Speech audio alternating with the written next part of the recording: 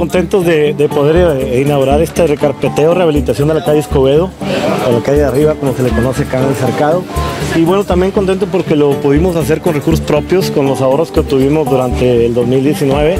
Eh, decidimos invertir en algunas obras públicas estratégicas y bueno, consideramos que esta es una de las vialidades que ha metado un mantenimiento integral, una rehabilitación y ahora bueno estamos pensando también en trabajar en lo que es la calle Juárez y las calles de los principales flujo de tránsito de nuestro municipio. Vamos a seguir trabajando también en las comunidades, las colonias.